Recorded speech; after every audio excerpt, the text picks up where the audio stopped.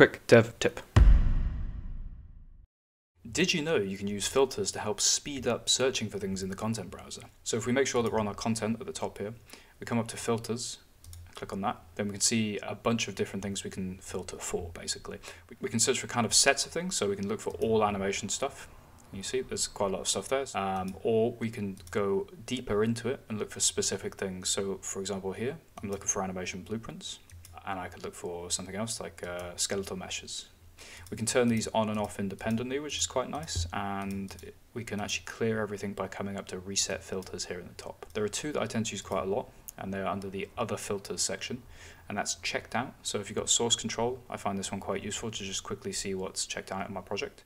And the second one is show redirectors. So every so often I'll just come up to content and do show redirectors and see if I've got anything lying around that needs fixing up. So it's pretty much exactly the same in Unreal 5. If we make sure we're on our content at the top, just so we can kind of see everything in our project, the filter button actually has moved from the left to the right here. It's this little icon here.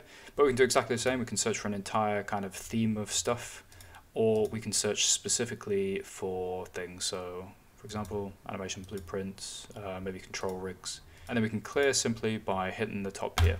So if you can't remember what something's called and where it is in your project, uh, using these filters can be a nice little way to find things quickly.